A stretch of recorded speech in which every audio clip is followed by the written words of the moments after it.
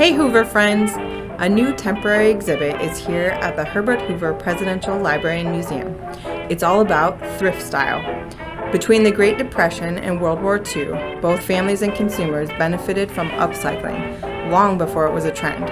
Explore the use of flour sacks and discover how families repurpose them into entirely new items.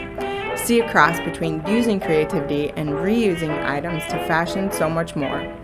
Follow along as we share more from this exhibit, and come see us at the museum in West Branch, Iowa before it's gone.